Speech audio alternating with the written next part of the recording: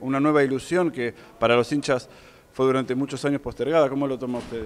Sí, sí, ansiosos, eh, contentos de estar viviendo este momento y bueno, lo tenemos que afrontar con la mayor responsabilidad posible.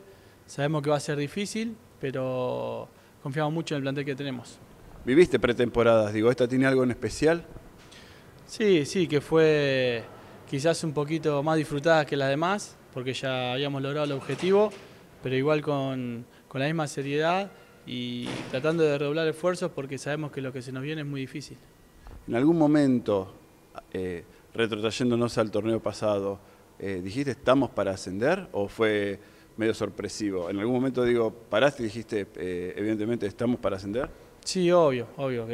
Sorpresivo no fue porque confiaba mucho en los compañeros que tenía y después de darse ciertos resultados en algunas fechas nos dimos cuenta que, por lo menos yo me di cuenta que era para nosotros y que no se nos podía escapar. Bueno, por suerte lo logramos cuatro fechas antes y, y fue todo soñado. ¿Qué pensás que viene? Y esperemos que sigamos con las buenas. Ya arrancamos bien por la Copa Argentina con San Lorenzo. Eh, así que, que ojalá que siga todo así derecho, encaminado.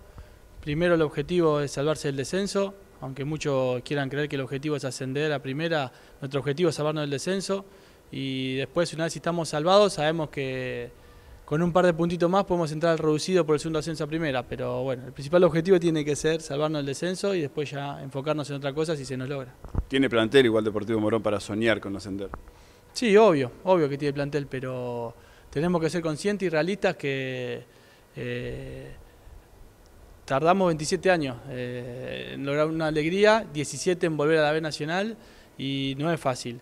Va a ser muy difícil, este es un campeonato atípico que no es eh, ida y vuelta, es ida sola, así que hay que aprovechar cada partido, hacernos muy fuerte de local y, y confiar en lo que tenemos, que por suerte se pudo mantener la base y los refuerzos que vinieron se acoplaron de la mejor manera.